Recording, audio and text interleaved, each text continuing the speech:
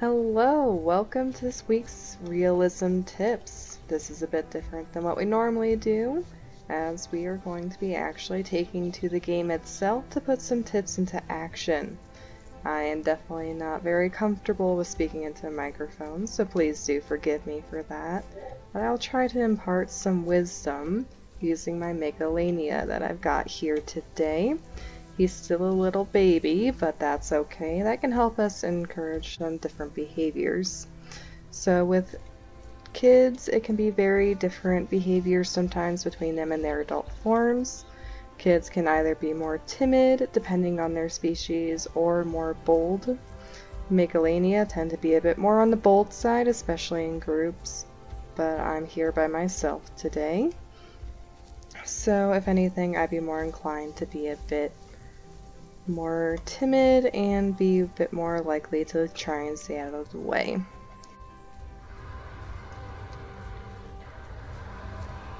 So here I hear something happening up ahead.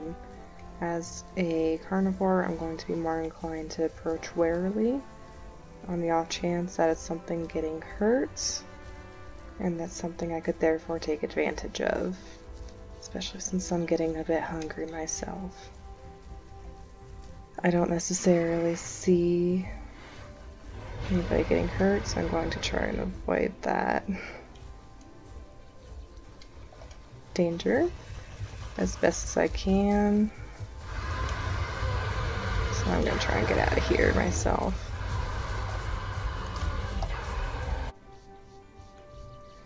So as a little Megalania, there's a few different ways I can interact with the world. I can do so by sniffing with a little R special. It allows me to use a tongue flick at any point in time.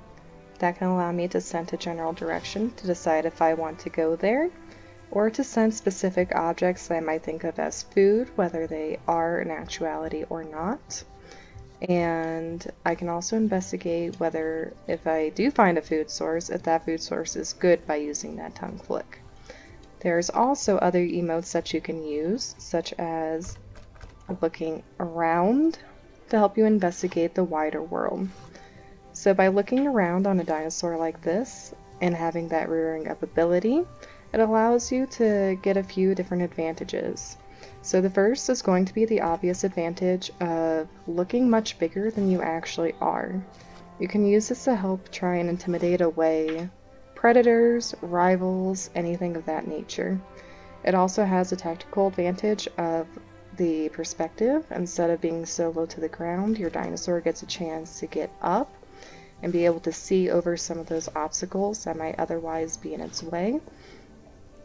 And there's also some interactions that you can do with it, such as if I were to come up to this tree and press it, it can look like I'm trying to get at something in the tree or interact with the tree in other ways. Megalania actually use this ability to court with one another and to court uh, rival male against rival male. So you can actually practice that with others of your kind, especially if you're young like this one, in order to gain that ability for when you're older. If you're alone like I am, you can always practice against something like a tree just to help give yourself that little bit of an edge as you grow older.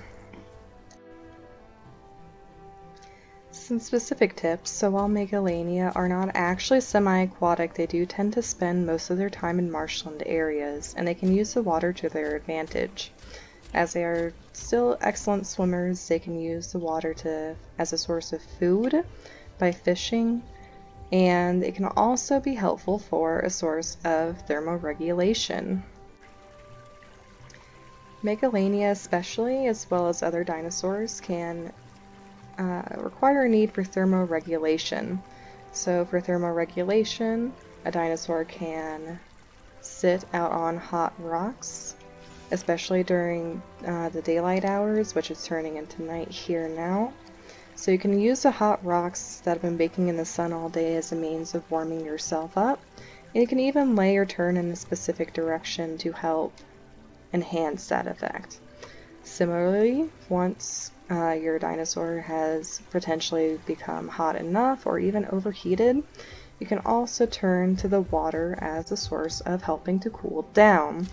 even for, especially for semi-aquatics, but even for non-semi-aquatics, uh, Megalania especially will uh, prefer to actually be in wetland areas and so can make full use of the water and the hot rocks surrounding it as well as the cool mud surrounding it as a means of thermoregulation. In addition to being a food source and a way to help cool one down, water can also be a good tool for helping get stuck shed off. So dinosaurs, as they go through shed, will potentially have their skin coming off in rough flakes. This can be very itchy and it can get stuck sometimes. So to help ease the process, you can always soak in the water.